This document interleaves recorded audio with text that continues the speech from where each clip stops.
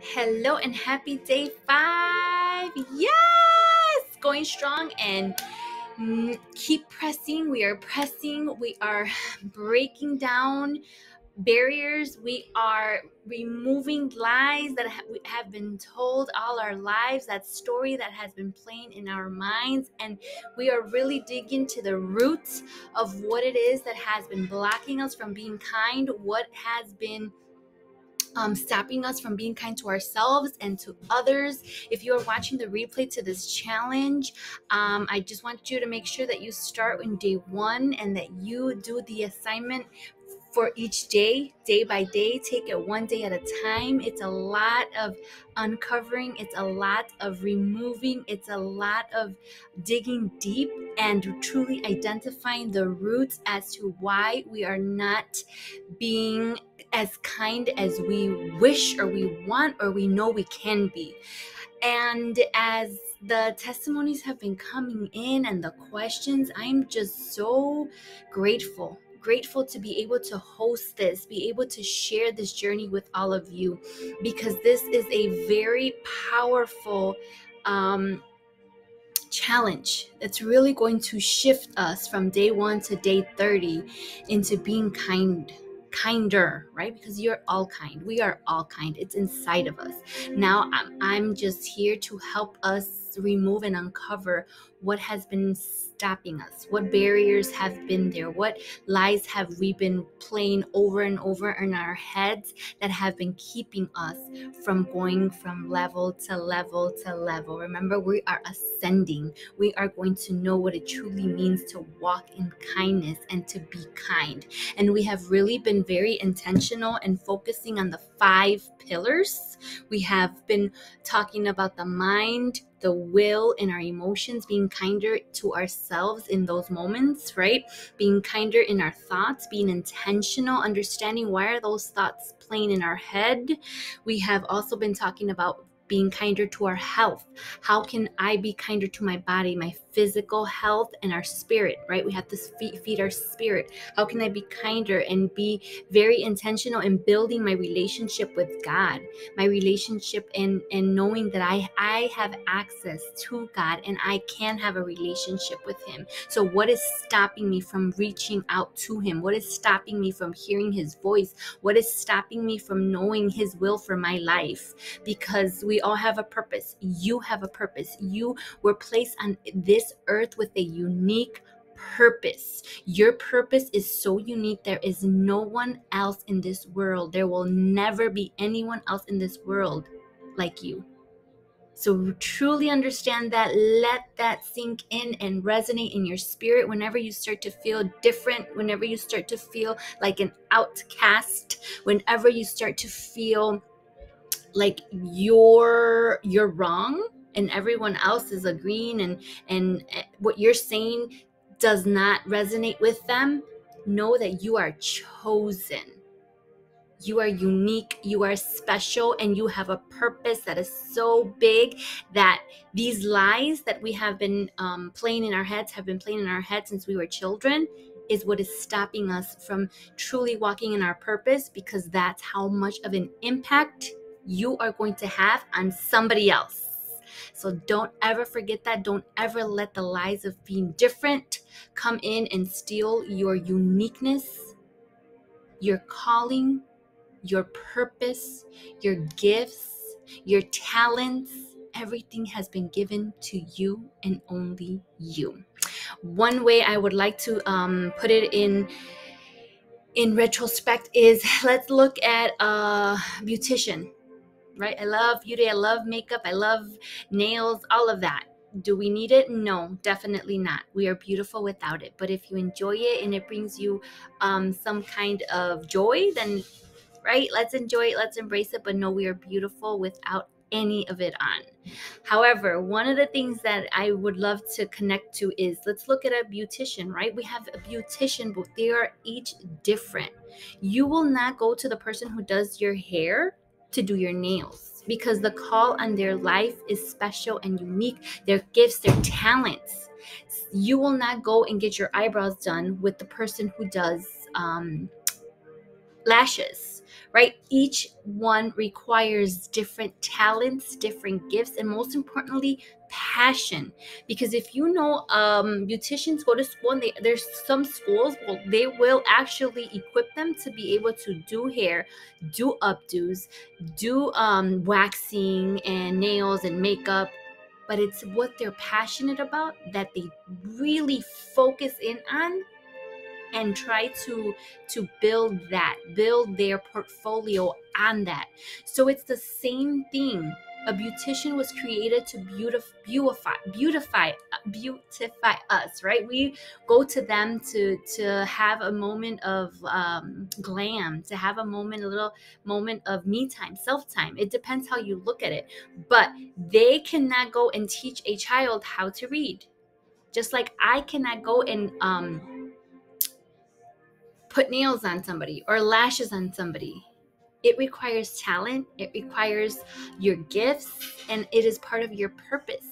Your, your purpose, even though we may have similar qualities, because I'm as a teacher, right, I go and I encourage kids. I'm encouraging you. I encourage people. That's part of my gifts, my talents, my purpose. That's part of my destiny to motivate you, to bring awareness to others so they can walk in the fullness of who God created you to be, right? So you can walk in that. You can walk in your purpose and lead you to your destiny. That is part of who I am. Now, as you are discovering this because you're going to begin to start to see what is your purpose on earth. Like this 30 day challenge is more than just um, being kinder to ourselves and others. The moment we start to be kind and we start to unpack and remove the barriers and the lies that have been playing in our heads we're going to have so much clarity that we're going to be able to see what our purpose is and it's going to lead us to our destiny. Now, I always say destiny is not a one place location. Our destiny is forever growing and growing and growing, and we're going from one place. It's just like when you travel, right? First, you go to Florida, the beaches, then you're like, oh, next I want to go to the Bahamas and see the ocean um, and the views and the islands, and you you keep wanting more. You keep wanting to see more. You keep wanting to expand. You, you, start taking little steps, right? Maybe you begin off with a road trip and then you go and get on a plane to go to Florida. And then you begin and say, I want to go to uh, the Bahamas. I want to go to um, Mexico. I want to go and just travel the world. It doesn't just be like, well, I'm gonna travel the world and go. No, it's it requires us to start in baby steps. It requires so everything that you are doing, every assignment that I'm asking of us to do right now is important because it is going to lead us. It's the steps, it's the roadmap that we are going to take to be kinder to ourselves, to be kinder to others, and most importantly, to be kinder in the five pillars. We are really focusing on the five pillars, which is our mind, our will, and our emotions, our health, our physical bodies, our finances, our relationships, and being uh, building that relationship in our spirit with God. So today I'm on here just to encourage you. I want you to take this day to just reflect. That's going to be your assignment today. Reflect over the last four assignments and today, day five. What have I learned? What has been revealed to me? Just jot down ideas and things that have come to you, to your mind because this is what's going to lead, right? Reflection as a teacher. And in the classroom, we always have the staff Fridays is usually the days where I um, give my students an, an assessment right? I'm not going to start explain it. That's the teacher in me but no i'm so i'm giving you this assessment this self-reflecting assessment okay? So we're all going to take the time to reflect We've identified kindness. We've talked about kindness. We learned about kindness. Um, we have been breaking down our weaknesses and our strengths in the five different pillars, right? I shared my testimony. I I hope that that was helpful as well. And that allows you to be able to connect your story to your childhood or to your past because know that nothing in our past is wasted. Nothing that we have gone through is ever wasted. It's all going to, it has all been equipping us, it has all been building us to be where we are today. We are the women we are today because of our past, whether good or bad, but we learn from the bad. Never look at a bad time or a bad season or a bad moment or challenge in life, in your family, in you yourself, your mind, your thoughts, your wills, your emotions, right? Sometimes they try to come and take over and they create a storm within themselves, the emotions. So never look at that as time wasted or in regret. No, look at it and learn from it. This is why self reflecting is so, so critical I really want you to take this time and don't just think about it. I need you to write it. I need you to put it on paper. I need you to type it in your notes. I need you to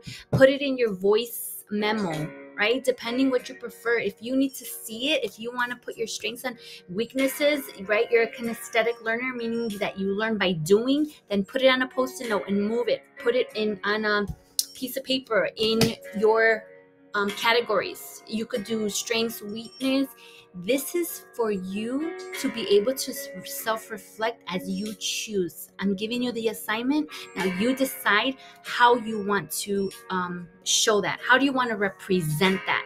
But it cannot stay right here it needs to be put on paper you can type it out if that if you prefer as long as you put it down that those ideas that self self reflection part on paper or on something. Like transfer it out of your mind. Okay, there's a lot of power in writing. There's a scripture um, which I love and I constantly share with others. Writing, there's so much power in our writing. Write it down. Don't ever um, just hold it in. Don't ever keep it in your mind because you will not remember. You will not remember. And I want you to look back at these notes. This is why I asked you to buy a notebook. I want you to look back at these notes and reflect and see how far we have come. See how far you have come in this challenge. Um, it is Habakkuk. I'm going to find the scripture for you because I'm all about um, being rooted in integrity and truth. And this is why I am the foundations of this journey, the foundation foundations of this challenge is our scriptures. Because if it is found in the Bible, the Bible is filled with principles, which is filled with instructions. And if we are obedient and follow instructions, there's nothing that's going to stop us from our breakthrough. There's no one who's going to stop us from our breakthrough. And this is why I am just so excited to see the transformation that takes place um, within this 30 day challenge. So, as we are self reflecting, it says Habakkuk, Habakkuk, I'm not sure how to say it, but 2.2 Write down the revelation, make it plain on tablets so that a herald may run with it that is here we go. I'm more familiar with the King James Version. And the Lord answered me and said, Write the vision and make it plain upon tables, that he may run that readeth. Okay, plain upon tables, plain on a notebook, plain on paper. Write it down. There's power in your writing. Now, if God said this, and actually it is a scripture, then there's our proof that's our word, that's our rock. We are standing on that. So we are going to write down our reflections. This is really, really critical. I pray that you understand this assignment and that you are very transparent and vulnerable. Remember, the more transparent and the more vulnerable we are, the bigger the transformation, the bigger the breakthrough. There should not be anything that you do not put down on the paper. Just write it down right? And put it in a safe place. If you don't want anyone to read it, put it in a safe place. This is just for you. This is the assignment that you know is going to equip you and is building you in the midst of this challenge, day five. Um, but yes, and the scriptures that we have used, I will share with you because there's power in the scriptures right? We are rooted in the Word of God and the scriptures as we tell ourselves these scriptures. This is what we can um, just keep thinking about and meditating throughout the day is Proverbs 11 17. When you're kind to others, you help yourself. When you're cruel to others, you hurt yourself. And Luke 6:35. But love your enemies and do good and lend, expecting nothing in return, and your reward will be great, and you will be sons or daughters and daughters of the Most High, for He is kind to the ungrateful and the evil. So just keep that in mind. And then we've also learned about what is an enemy, identifying an enemy, how it does not always have to be a person. So that is the assignment for today. I want to encourage you. Um, set, so day six and seven would technically be the weekend. It's going to be short videos and it's going to be videos with just teaching, and we're really going to focus on rest. After we do our self reflection, there's going to be time for us to rest and receive all that we need to receive during rest because there's so much power in rest. There's times where the to do list can be pages long, right? Especially right now with kids going back to school. Seasons are about to change routines are changing. There may be a shift in your environment. There may be a shift in your career. There may be a shift in your um, you're going to start a new job, a new role. So the to do lists are immense. But the greatest weapon or the greatest way to prepare yourself is to truly take the time to rest and allow God to truly speak to you and lead you. When you rest, you come back recharged and you come back ready, and what seemed like a burden will soon begin to come, be um, almost miraculously just checked off at how quickly things are going to start moving. So don't ever underestimate the power of rest. Don't ever think, I need to be busy. I need to be doing something. And I'm going to share the scripture that comes to me when I remind, when I know that I'm being called to a, a season or a day or a time of rest is when Martha and Mary were at home and Martha was was cooking and Jesus arrived immediately when Jesus arrived and the disciples Mary went to sit at the feet of Jesus she was just soaking up his presence. She was basking in his presence and receiving the impartation, receiving the teaching, receiving the wisdom, receiving the knowledge, while Martha was busy cooking and trying to tend to the guests and get the food ready and she had the stove going and she was trying to prepare everything. And it really got to martha that she it, it, it got to the point where martha and i'm just telling the story you can find it in scripture. I will find it for you to go read it. It's, i think it's important that you read it and you understand it. Every time you read it every time i read it when we read it it's going to give us a new revelation. But as martha um she was upset and she went and she told Jesus, Jesus, look at Mary. Like, tell her to help me. I'm over here cooking and I'm over here getting everything ready and working, and she's just sitting down. And what Jesus said to her was so powerful. It it really just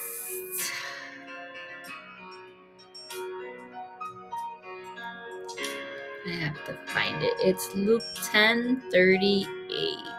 Luke 10:38. Now I have to find the King James version because let's see. So Luke 10.